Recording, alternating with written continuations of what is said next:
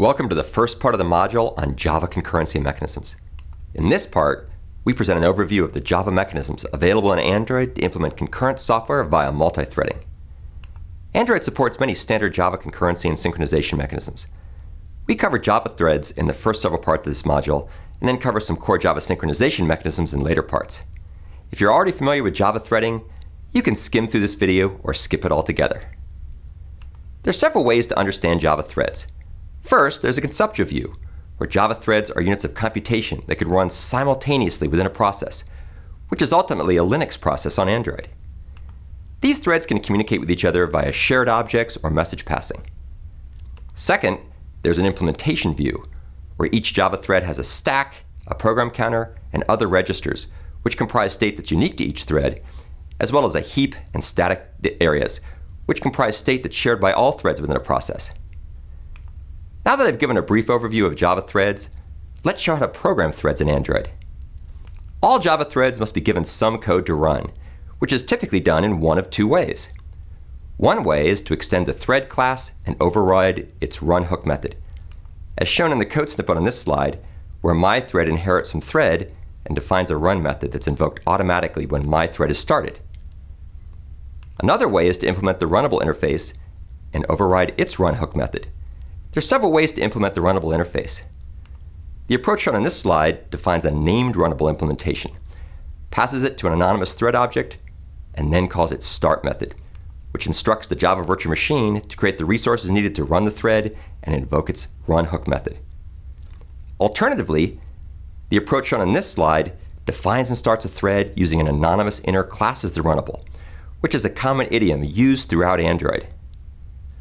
The link shown at the bottom of this slide compares and contrasts these various approaches. Regardless of how a thread is created, the Java virtual machine, known as Dalvik on Android, creates the thread resources and invokes its run hook method when another thread calls start on the thread instance. That run method can execute concurrently with respect to other computations and other threads. It can call blocking I.O. operations on network connections and files, receive messages from a looper and process them, etc. You can generally run any code in a thread, though Android restricts GUI operations to the user interface thread. A thread can execute as long as its run hook method hasn't returned, though the Android Linux thread scheduler can transparently suspend and resume many times throughout its lifecycle. If a thread needs to run forever, it requires some sort of infinite loop that prevents run from returning. After the run hook method returns, the thread's no longer active and various things can happen. For example, another thread may have called the thread's join method to wait for it to complete, or the thread could simply evaporate. The Java virtual machine, machine reclaims and recycles the thread's resources once it's complete, while allowing other threads in the program to continue running. The Java thread class has dozens of methods that are documented in the URL at the bottom of this slide. We've covered some of the most important methods already.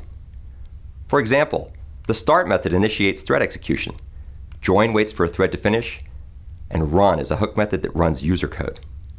Some other methods commonly used in Android software and shown later in this MOOC include sleep, which causes a thread to sleep for a given period of time, interrupt, which posts an interrupt request to a thread indicating it should shut itself down, and current thread, which returns the thread object associated with the currently executing thread of control. In summary, some concurrency mechanisms supported by Android are based on standard Java thread classes, which provides a programming model that's familiar to many developers. The link at the bottom of this slide points to a tutorial on the concurrency support provided by the Java programming language and its class libraries. Android also supports powerful concurrency mechanisms from the Java util concurrent package. For example, its threadpool executor and future are used in various parts of the Android middleware itself. The link at the bottom of this slide points to documentation on Android's Java util concurrent package. Writing Android programs using Java threads has drawbacks, however, since it's subtly different than writing multi-threaded programs on a desktop or server. For example, Android doesn't allow background Java threads to access the display, but instead requires them to post runnables or messages to the user interface thread's looper. In practice, therefore, Many Android applications use the idiomatic concurrency frameworks that are described in the link at the bottom of this slide and covered in the next module in this section.